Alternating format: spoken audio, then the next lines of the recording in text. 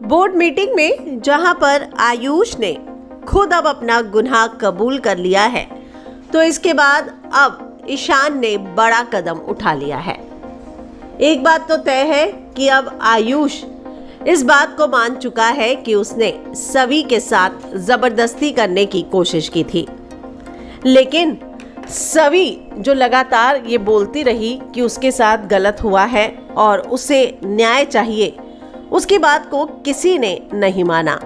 लेकिन अब सभी ने, जब बोर्ड मीटिंग में सभी ट्रस्टीज के सामने आयुष के मुँह से पूरा सच उगलवा लिया है तो बड़ी खबर सामने आ रही है।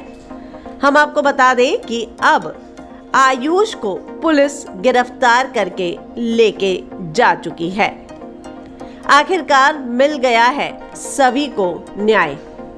आखिरकार सभी इस बात को साबित करने में कामयाब हो ही गई कि वो झूठ नहीं थी, वो गलत नहीं थी। हम आपको बता दें कि यहाँ राव साहेब ने मकरंद को इस बात का वादा किया था कि वो उसके बेटे को कुछ भी नहीं होने देगा। लेकिन खुद अब जब उसके बेटे ने गुनाह कबूल कर लिया है तो अब कोई भी चारा नहीं बचा। यहाँ पर ईशान ने पहले ही सभी को इस बात का वादा किया था कि जब आयुष का गुना पूरा का पूरा साबित हो जाएगा और उसे सबूत मिल जाएँगे तो वो ज़रूर आयुष को सजा देगा।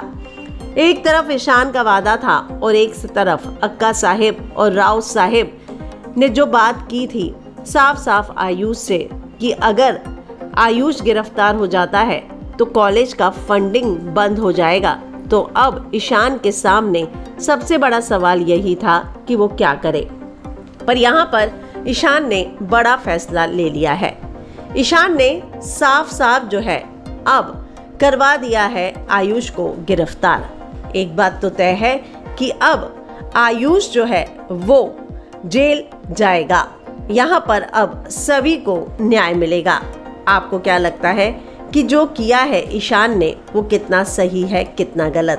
पर एक बात तो तय है कि ईशान अपने बाकी परिवार वालों की तरह नहीं है। अगर कहा जाए तो वो हमेशा सच्चाई और ईमानदारी का साथ देता है। जिस तरीके से उसकी माँ ईशा सच्चाई के साथ खड़ी रहती है, वैसे ही ईशान भी सच्चाई के लिए खड़ा रहता है। और इसीलिए जब सच सामने आया, आयुष का तो उसने तुरंत जो है पुलिस को बुलाकर गिरफ़्तार करवा दिया है। आप इस पर क्या कहेंगे? कमेंट में अपनी राय लिखकर ज़रूर बताएँ। लेकिन उससे पहले हमारे चैनल को सब्सक्राइब करना ना भूलें।